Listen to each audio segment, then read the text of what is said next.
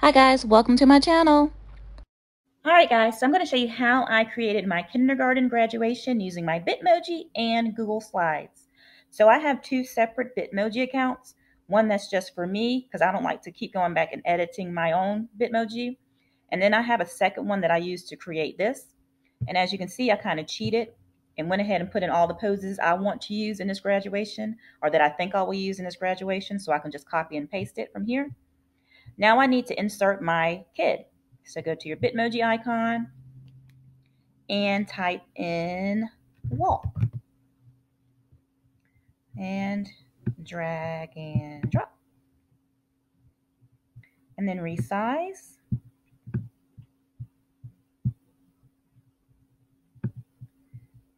Uh,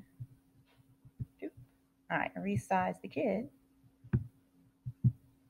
All right, and I'm going to scooch her over just a little bit. All right, so now all I need to do is come over here, right click, duplicate slide, and just shuffle her over just a little bit. Then I'm going to change mine to me clapping. So I'm just going to copy my Bitmoji from here, insert her here. Okay, then right click, order, send backwards, and now I'm behind the podium. So then right click over here, duplicate slide, walk some more. I'm gonna move her up towards the center of the stage. Right click, duplicate slide. And now she's gonna be towards the middle. So I want her to kind of wave. So I'm gonna go to my Bitmoji, type in wave. There's a good one right here. Drag and drop. And then resize. And move it towards the center of the stage. Make it just a little bit bigger. All right, so now I'm going to delete her and I'm going to move my Bitmoji.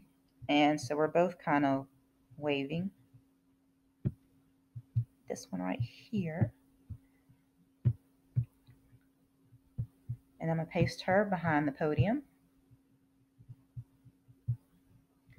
All right, and again, all you have to do is right click, order, send backward. And now I'm behind the podium. Podium. All right, I'll move her up just a little bit.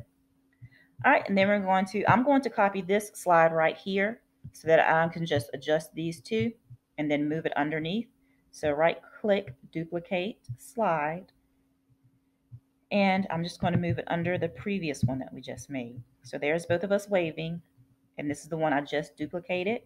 So all I have to do is slide her over just a little bit, and I'm already clapping. I don't have to redo that one. Let's see how it looks from here. Start walking again. Right click, duplicate slide, slide her over some more, right click, duplicate slide, slide her over some more, and I might flip mine, go ahead and flip mine over.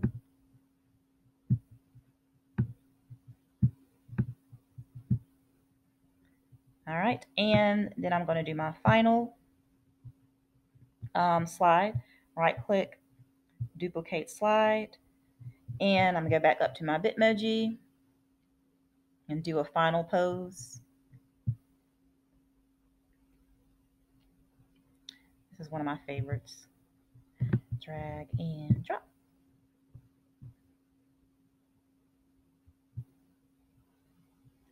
Did she drop in there? Let's try it again drag and drop. All right, and resize.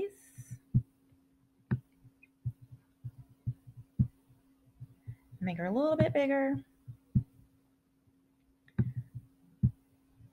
And that will be the end of my graduation show. All right, so again, you can go in and make it perfect, but I'm to keep it like this just to keep short on time. Go to present and watch it.